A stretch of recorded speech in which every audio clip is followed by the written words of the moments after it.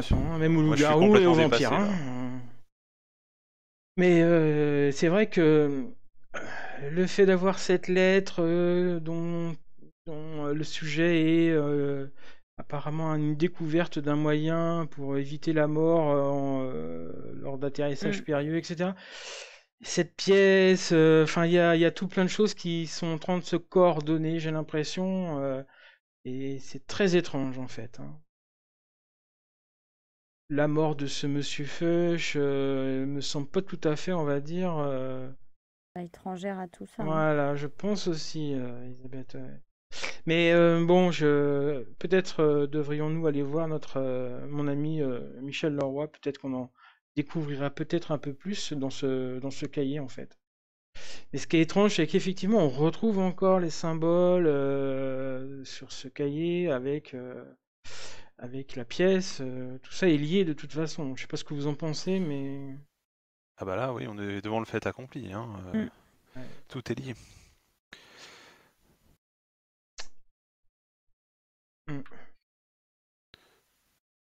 Et moi, je reste persuadé qu'il n'est pas mort. Hein. Ça, je suis sûr. Je sais pas où il est, mais. Mais il est pas mort.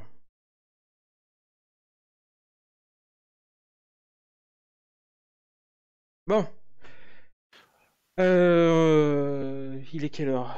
Je regarde ma montre. Il est 10h30. On pourrait peut-être euh, se rendre. euh, Je sais où il habite, Michel Lorbe.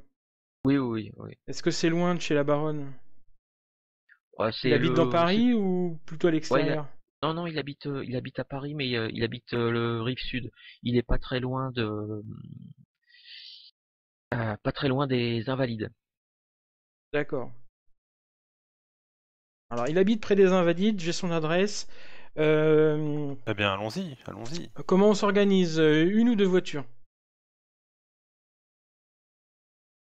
Euh, Moi, j'aurais peut-être bien été euh, à la police euh, demander un petit peu plus de, de renseignements sur, euh, sur cet Allemand en disant que c'était un, un ami de, de, de, de Vincent et que euh, un peu surprise et que je, voilà, je voudrais peut-être euh, avoir plus de renseignements. Non, qu'est-ce que vous en pensez? Euh, On on pourra peut-être y aller après, euh, ensemble? D'accord. Madame la baronne? Madame la baronne, elle a loupé une petite partie de la discussion, donc elle va se ranger à l'avis des autres. D'accord. On va voir euh, Michel Leroy, un journaliste que je connais, pour qu'on puisse avoir des, une espèce de traduction du cahier qu'a trouvé, euh, euh, enfin qu'a reçu en fait Elisabeth. Ah oui, très bonne idée. Et ensuite, on ira, je pense, voir l'inspecteur Mollier pour avoir peut-être des informations ou lui donner des informations euh, pour son enquête. On fait un échange de- d'informations. Voilà, essayons de travailler ensemble. L'inspecteur Mollier, c'est celui qui s'occupe du meurtre de Fuchs. C'est ça, ouais. C'est ouais. ça, oui. Par contre, on n'a pas son, on n'a pas son arrondissement de, de poste de police. Bon, bah, ça doit être près de l'hôtel d'Alsace. Bah oui, oui. Ça doit être à côté, c'est Gare de l'Est. Voilà, on va aller à la gare de l'Est. Bon, et ben, les invalides et après direction Gare de l'Est. Donc ma question revient euh, une ou deux voitures? On peut tous prendre la même, là. Oui. On prend la vôtre, Madame la Baronne? Oh, volontiers, j'adore conduire. C'est pour ça que je vous propose ça. Moi, je laisse ma voiture euh, avenue de la Grande Armée Mhm. et puis euh, on va tous dans la même voiture. Ça sera plus simple pour le déplacement. D'accord. Euh, du coup, le, la baronne, tu t'as mis de côté l'idée d'aller. euh, Ah oui, il faut que j'aille voir ma sœur euh, à un moment. Euh, Oui, non, mais là, je les accompagne. Je suis prise dans l'action. D'accord. Après, euh, après les Invalides et euh, le, le quartier où habite euh, Saint-Germain-des-Prés où habite euh, le- ta sœur, c'est pas très loin. hein. C'est des, des voilà, il y a plusieurs centaines de mètres entre les entre les deux quartiers. hein. C'est pas si loin que ça l'un de l'autre. Donc voilà, je. Ah bah oui, donc peut-être pendant qu'ils vont chez Michel Leroy, moi j'irai prévenir ma sœur et mais je vais me dépêcher pour revenir vite après chez. D'accord. Enfin, réfléchis pendant le trajet. Pourrons boire un café après notre entrevue avec Michel Leroy. Et pendant ce temps, j'irai voir ma sœur. C'est mieux. D'accord. Très bien. Euh, ah, il y avait aussi euh, Elisabeth, je crois que tu voulais, toi, tu voulais aller voir aussi euh, Théodore Van Berkel à un moment donné. Oui, bah, j'avais appelé euh, la veille Ouais, ça répondait pas. On- et on m'a dit qu'il recevait un client à son domicile. Mm. Il n'était pas au bureau cet après-midi. Donc euh, oui, c'est, je peux essayer de passer euh, à son bureau ou à son domicile. Si vous, si- le, là en fait, grosso modo, vous allez quasiment, vous allez quasiment passer, euh, pas- presque passer devant chez lui euh, pour euh, le, qu'en fait, pour aller aux Invalides, vous remontez jusqu'à l'Arc de Triomphe et ensuite vous dé- vous bifurquez, vous devez descendre vers le, les quais de Seine. Vous, a- en gros, vous allez passer dans une rue parallèle à la rue, euh, à l'avenue Georges V, le quartier où se trouve le, où non seulement il habite, mais aussi où, là où il a son bureau. Donc voilà. Et, euh, vous allez passer de quasiment devant. Ah, ça, c'est pour Ouais. euh, Théodore, ça, c'est ça? Ouais, c'était Ouais. Van Berkel qu'elle voulait. D'accord, ok. Bah, je vous propose qu'on s'y arrête comme on Oui, on va faire le- un peu une halte. on, va- on va route. faire, on va faire des haltes, hein, de toute façon. hein. Ah oui. Vu que c'est dans les mêmes quartiers, donc euh, c'est- pratique. D'accord. D'accord, Mm. d'accord. Bon, bah, écoutez, le, la baronne, fièrement au volant de son, de son, sa magnifique Hispano Suiza, remonte, remonte l'avenue de la Grande Armée, euh, passe le, le contour de l'Arc de Triomphe et s'engage euh, juste après dans une rue sur la droite, en direction donc de, du bureau de Theodore Van Berkel, puisque euh, Elisabeth, tu connais le, tu connais Mhm. l'adresse euh, par cœur. Et quand vous arrivez là-bas, quand tu te renseignes auprès de sa secrétaire, elle te dit que non, Monsieur Van Berkel ne, n'est, n'est- elle ne l'a pas vu ce matin. C'était prévu? Euh, non, c'est, enfin, il avait euh, là, je vois dans son agenda, il n'y a pas de rendez-vous, euh, pas de rendez-vous prévu. Il n'y avait qu'un rendez- un rendez-vous prévu que cet après-midi euh, vers 14 heures. Donc euh, après, je sais que Monsieur Van Berkel avait un rendez-vous assez, euh, un rendez-vous d'affaires hier en fin d'après-midi. Peut-être que ça a débordé sur sur un dîner dans un Mm. restaurant et peut-être plus après, je ne sais pas. Très bien, merci. Bonne journée. Moi, J'indique à la baronne euh, l'itinéraire pour euh, se rendre à son domicile. D'accord, très bien. Alors, son... Il habite... euh, Non, non, c'est pas très... euh, C'est pas très très loin. C'est euh, en gros, il faut juste, faut conti- juste continuer un peu à descendre, c'est pas loin des quais. Les quais de Seine. Et le... quand tu arrives donc à son hôtel particulier, hein, puisque c'est euh, voilà, c'est le genre d'immeuble avec, euh, avec de, de magnifiques appartements. euh, il y a un, il y a un portier qui te demande chez qui tu vas et qui tu es, pour- afin de noter le. enfin, sauf si vous me dites que vous, descend- vous y allez tous. hein, Ah, on y va enfin, tous ensemble, non, je pense, Oui, euh, on- parce on ensemble, on, sait, bien. on sait jamais, on sait jamais. Oui, c'est louche. ouais. Je préfère qu'on reste soudés là, euh, par sécurité. Il y avait des, des poissons qui tomberaient encore du ciel. En forme de spirale. Vous allez me faire tous un jet de toc.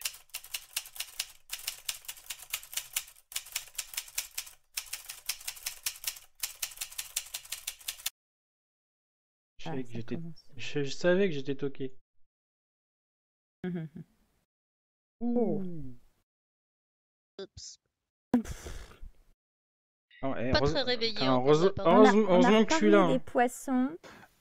On a reparlé des poissons, ça nous a perturbé tout Alors ça. moi j'ai réussi, hein, parce que j'ai 60. 60. Ah ouais, c'est vrai, c'est encore un bug du truc. Euh, donc tu, bah, Jules et Bernard, euh, vous remarquez pas très très loin du, à peut-être euh, une, une quinzaine de mètres, sous un porche, euh, vous avez vu deux types euh, ils ont commencé, à, en fait, à partir du moment où vous êtes arrivé à la porte d'entrée de, de l'immeuble, ils vous ont jeté des regards assez insistants. Je fais un signe à... à Bernard, genre, t'as vu? Ah ouais, j'ai. ils ont pas l'air commodes. Il y a un type, il y a un type qui est, qui doit faire pas loin de d'un mètre 90. Le mec, en fait, on, voit, il est clairement, il a l'air d'être engoncé dans un costume beaucoup trop petit pour lui. et l'autre est beaucoup plus petit, une, casquette légèrement de, de, travers vissée, vissée sur le crâne, pareil avec un, costume avec un, une espèce de costume qui se voudrait être un petit peu chic, mais euh, voilà, c'est pas non plus. Euh... Voilà, c'est juste, c'est plus pour se donner le genre de. Euh, et effectivement, ils vous ont jeté pas mal de coups d'œil euh, quand vous êtes quand vous êtes arrivé là-bas.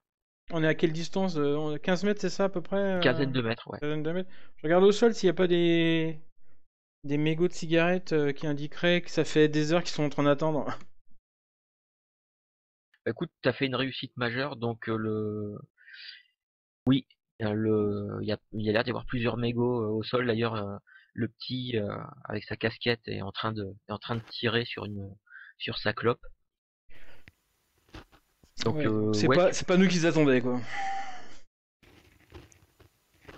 Euh... Je, je, laisse passer les filles devant, je, je retiens un peu, euh, un petit peu euh, Bernard par la manche en fait, et euh, je te dis, je pense pas que c'est nous qui les attendions, qu'ils attendaient en fait.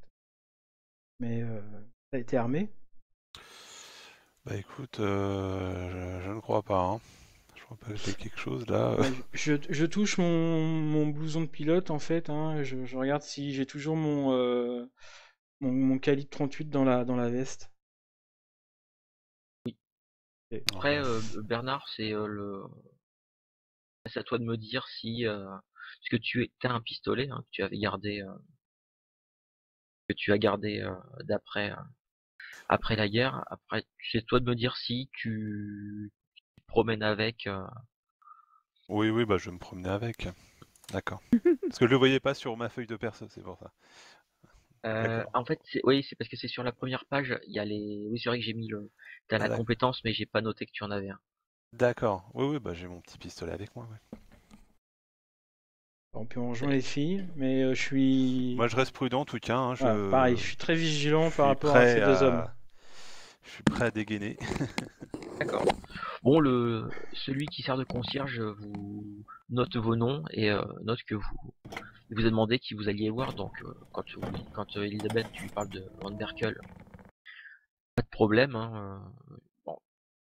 Il a pas l'air de te reconnaître, donc il te, il, t'indique que, que son but, que se trouve au deuxième étage. Donc bon. Mais il vous laisse, il vous laisse, il vous laisse grimper sans aucun souci. Donc le... Je, pense qu'on n'en parle pas, hein, Bernard, aux, femmes, hein, aux, dames qui sont devant nous, pour éviter de les affoler. Hein, euh. Ça sert à rien de, de les paniquer. Très bien. Ça a l'air de bien se passer en plus.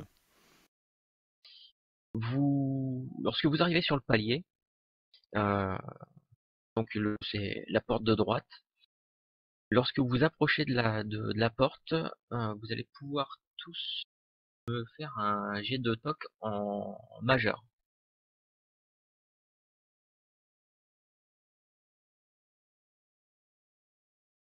Oh, oh la vache.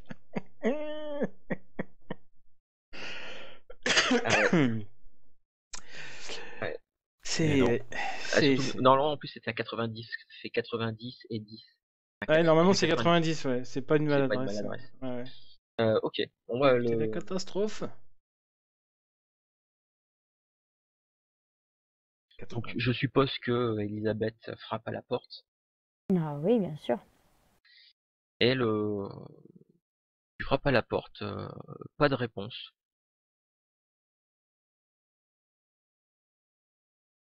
Tu remarques, euh, tu remarques qu'il y a quand même sur le sur le pas de la porte, il y a le, il y a le journal. Ah. Euh.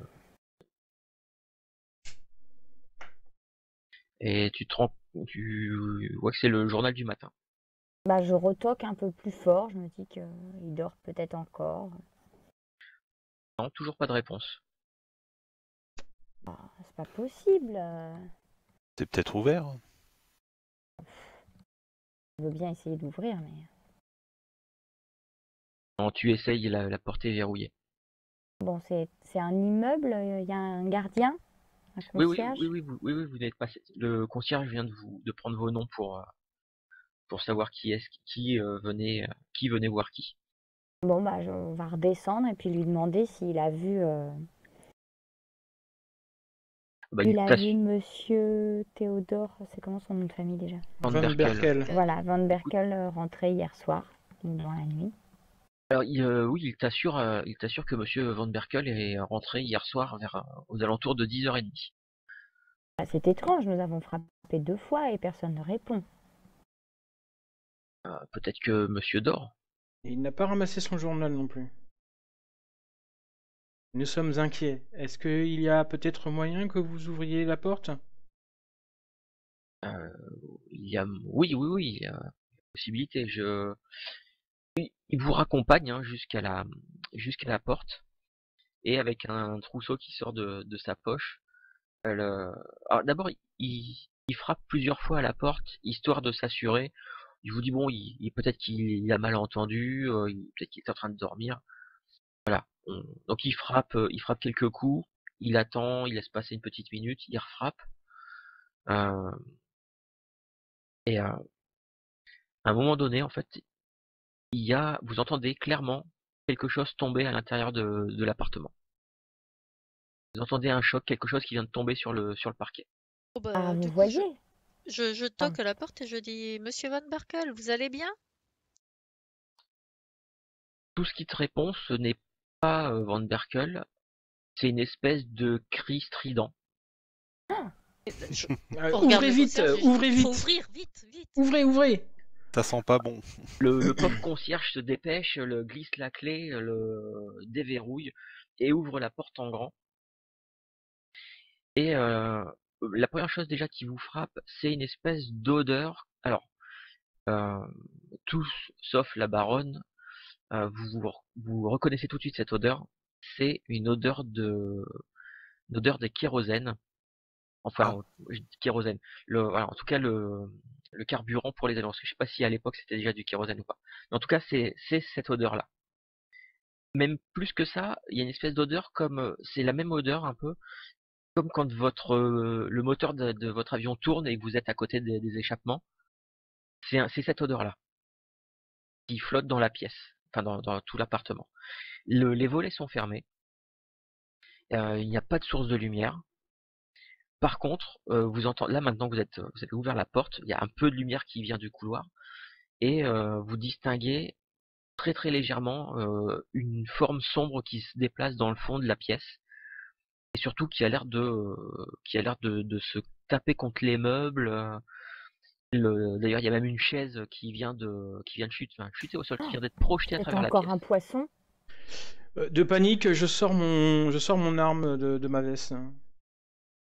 D'accord, très bien. Moi, je j'allume les lumières. euh, Il y a un Tu allumes- interrupteur. D'accord. Vous allez tous me faire un jet de santé mentale. Ah bah Ah, non, merci la lumière. ah bah non. Qui, euh, qui a allumé la lumière? Merci Bernard. Merci Bernard. Ah, t'as de la chance.